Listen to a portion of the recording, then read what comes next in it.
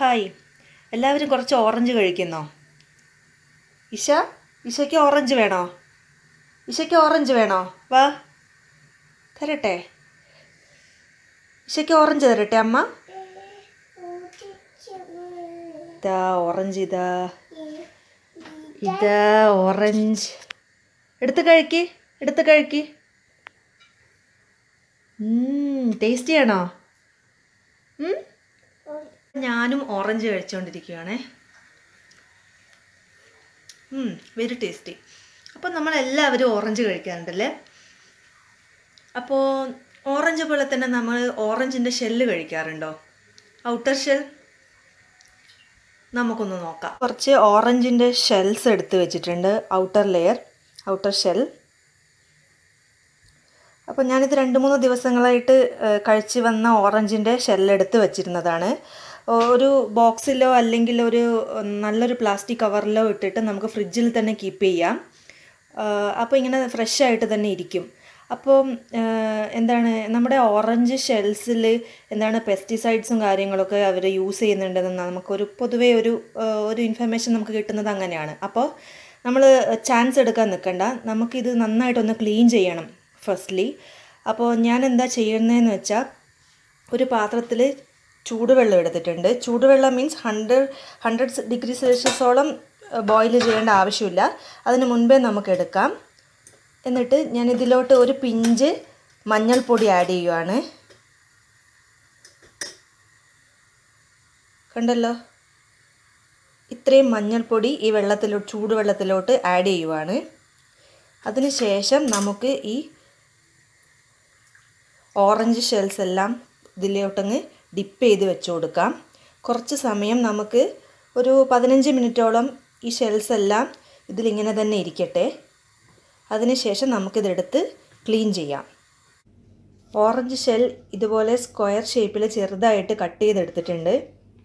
പിന്നെ നമുക്ക് ആവശ്യമുള്ള സാധനങ്ങൾ വിനെഗർ പിന്നെ സോൾട്ട് പിന്നെ ഞാൻ കായത്തിന്റെ പൊടി എടുത്തിട്ടുണ്ട്. അതുപോലെ ചില്ലി പൗഡർ അതുപോലെ ഇത് വെളുത്തുള്ളിയുടെ പൗഡറാണ് ഗാർലിക് പൗഡറാണ് ഇത് ഓപ്ഷണലാണ് നിങ്ങൾക്ക് ആവശ്യമുണ്ടെങ്കിൽ ചേർത്താൽ മതി. അല്ലെന്ന് വെച്ചാൽ ഈ കായപ്പൊടി വെച്ച് അഡ്ജസ്റ്റ് ചെയ്യാം കുഴപ്പമില്ല. അപ്പോൾ എന്റെ കയ്യിൽ ഇരിക്കുന്നത് കൊണ്ട് ഞാൻ ഒരു പിഞ്ച് ഇതും കൂടെ ആഡ് ചെയ്യും. നമുക്കിത് എങ്ങനെ ഉണ്ടാക്കാമെന്ന് നോക്കാം. നമുക്ക് ഇതിലോട്ട് എല്ലാം കൂടെ അങ്ങ് മിക്സ് ചെയ്യുകയാണ് വേണ്ടത്. ആദ്യം നമുക്ക് മുളക് പൊടി ആഡ് ചെയ്യാം. അതിപ്പോൾ ഞാൻ കൃത്യമായിട്ട് ഒരു കണക്ക് ഞാൻ പറയുന്നില്ല. കാരണം ഓരോരുത്തർക്കും പിക്കിൾ എന്ന് പറയുന്നത് ഡിഫറെന്റ് എമൗണ്ടിലായിരിക്കും സ്പൈസസ് വേണ്ടി വരിക. സോ ഞാനൊരു ഏകദേശം ഒരു നാല് മുതൽ അഞ്ച് ടീസ്പൂൺ വരെ ഫുൾ ആഡ് ചെയ്യുവാണ്. Two three four and five ഇനി നമുക്ക് ആവശ്യത്തിന് സോൾട്ടും കൂടി ഇട്ട് കൊടുക്കാം. എല്ലാം നിങ്ങളുടെ ടേസ്റ്റിന് അനുസരിച്ചിട്ടാണ് ചേർക്കേണ്ടത്.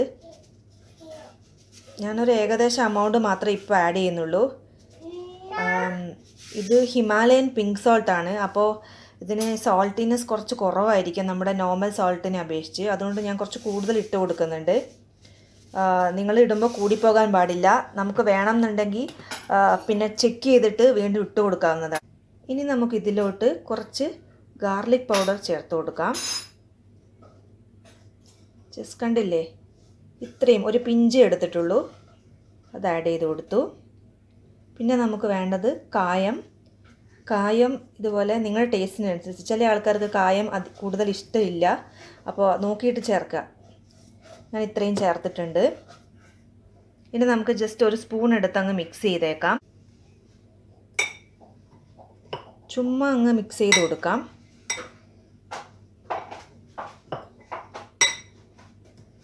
ഒന്ന് മിക്സ് ചെയ്ത് കൊടുത്തിട്ടുണ്ട്. ആവശ്യമുള്ള വിനെഗർ ചേർത്ത് കൊടുക്കാം. വിനെഗറും അതുപോലെ നിങ്ങൾ നിങ്ങളുടെ ടേസ്റ്റിനനുസരിച്ച് ചേർത്ത് കൊടുക്കുക. ഏഹ് എല്ലാത്തിന്റെ എമൗണ്ട് ഞാൻ കൃത്യമായിട്ട് പറയാത്തത് എന്താണെന്ന് വെച്ചാൽ ഞാൻ പറഞ്ഞല്ലോ സ്പൈസിന് ഡിഫറെന്റ് ടേസ്റ്റ് ആയിരിക്കും പലരുടെയും. അപ്പോൾ ഒരു ഓൾമോസ്റ്റ് കുറച്ച് കുറച്ചായിട്ട് ചേർത്ത് കൊടുത്ത് നിങ്ങൾക്ക് തന്നെ ചെക്ക് ചെയ്യാവുന്നതേ ഉള്ളൂ. കുറച്ച് വളരെ കുറച്ച് ചേർത്ത് കൊടുക്കുക. ഒരു ടേബിൾ സ്പൂണോളം നിങ്ങൾക്ക് ആദ്യം ചേർത്ത് കൊടുക്കാം. അതിനുശേഷം മിക്സ് ചെയ്തിട്ട് ജസ്റ്റ് ഒന്ന് ചെക്ക് ചെയ്യാം. അപ്പോൾ ഇത് നമുക്ക് നന്നായിട്ടൊന്ന് മിക്സ് ചെയ്തെടുക്കാം. ഒരു ടേബിൾ സ്പൂണോളം ആദ്യം ചേർത്തിരുന്നു. അപ്പോൾ നന്നായിട്ട് മിക്സ് ചെയ്ത് നമുക്ക് എടുക്കാൻ വേണ്ടി ഒരു ടേബിൾ സ്പൂണും കൂടെ ഞാൻ ആഡ് ചെയ്യുവാണ്.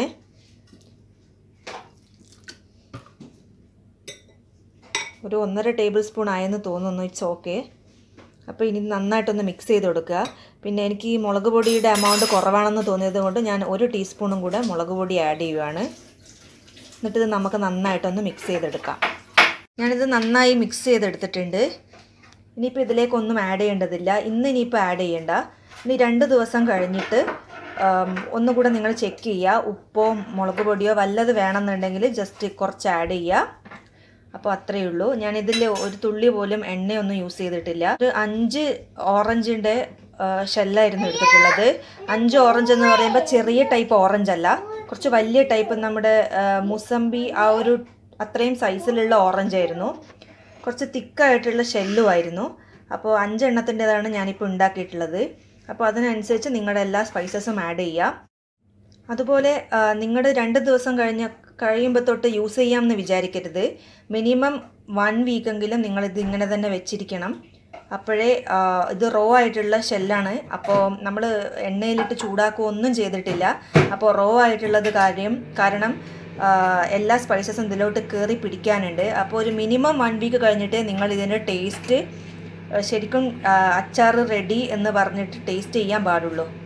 അപ്പോൾ പിന്നെ ഒരാഴ്ച കഴിഞ്ഞിട്ട് നമുക്ക് ഇത് നന്നായിട്ട് ചോറിന്റെ കൂടെയും അത്യാവശ്യം പലഹാരങ്ങളുടെ കൂടെയൊക്കെ പോകുന്ന ഒരു ടൈപ്പ് പിക്കിളാണ് അപ്പോൾ എല്ലാവരും ഒന്ന് ട്രൈ ചെയ്ത് നോക്കുക ഹായ് അപ്പോൾ ഇന്നത്തെ വെറൈറ്റി ആയിട്ടുള്ള ഒരു റെസിപ്പി നിങ്ങൾക്ക് ഇഷ്ടമായിട്ടുണ്ടാവുമെന്നാണ് ഞാൻ വിചാരിക്കുന്നത് അപ്പോൾ ഞാൻ എപ്പോഴും പറയുന്നത് പോലെ വീഡിയോ ഇഷ്ടമായിട്ടുണ്ടെങ്കിൽ ലൈക്ക് ചെയ്യുക നിങ്ങളുടെ എല്ലാ ഫീഡ്ബാക്സും കമന്റ് ചെയ്യുക പിന്നെ നിങ്ങൾ ആദ്യമായിട്ടാണ് ഈ ചാനൽ കാണുന്നതെന്നുണ്ടെങ്കിൽ ഒന്ന് സബ്സ്ക്രൈബ് ചെയ്യുക പിന്നെ അതിന്റെ തൊട്ടടുത്തുള്ള ഒരു കുഞ്ഞ് ബെൽ ബട്ടൺ ഉണ്ട്. അതും കൂടി ഒന്ന് ക്ലിക്ക് ചെയ്യുക. അപ്പോൾ എല്ലാ നോട്ടിഫിക്കേഷൻസും കറക്റ്റായിട്ട് നിങ്ങൾക്ക് കിട്ടും.